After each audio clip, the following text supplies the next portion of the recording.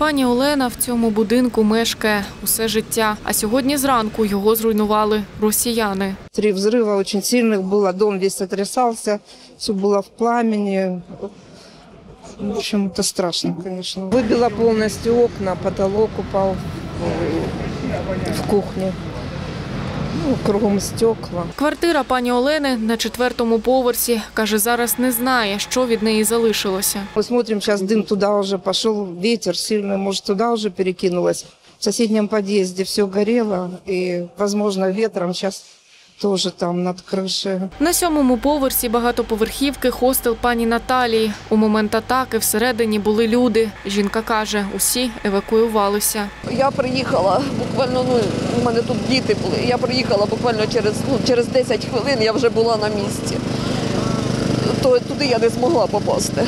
Ми розгрібали ветки для того, щоб заїхали МЧС. Вороже залізяча влучило по житловому будинку у середмісті Дніпра. Частково зруйновані верхні поверхи. Після удару їх охопило вогнем. Пані Ірина в момент атаки була у квартирі. Каже, дивом не зачепило. У меня эта кро- кровать стоит возле окна.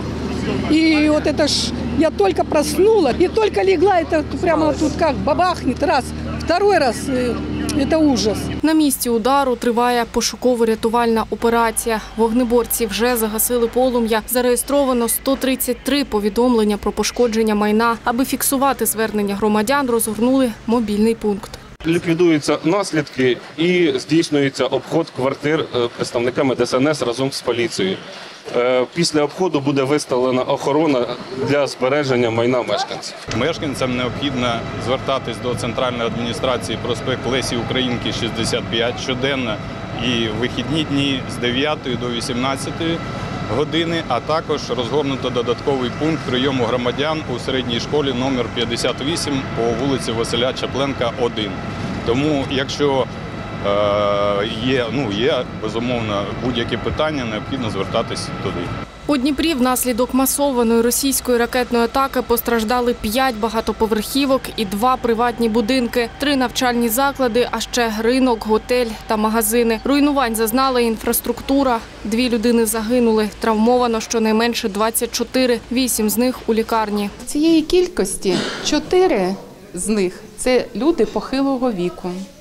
Одне це було подру- подружжя 86 і 90 років. Надійшла жінка 87 років, теж з психологічною травмою. Окрім будинку, росіяни поцілили і по автостанції. Тут загинув охоронець. Його намагався врятувати Георгій. В момент вибуху я був вдома, але одразу приїхав сюди.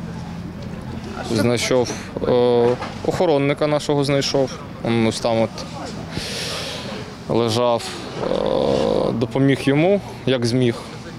Георгій, власник СТО, яке працює навпроти, ділиться свою справу, відкрив нещодавно. Нині ж тут понівечені автівки, уламки та побите скло. Дуже гарно було колись СТО, але, але будемо відновлювати, що вже зробити. Пані Олена каже, два роки тому росіяни забрали в неї спокійне життя, а тепер і домівку. Ну, это не люди, их людьми, их животными не назовешь. Это какие-то существа жуткие, просто ничего человеческого, ничего присуще даже тем же животным. Каріна Зейналова, Юрій Смірнов, Open News, телеканал відкритий.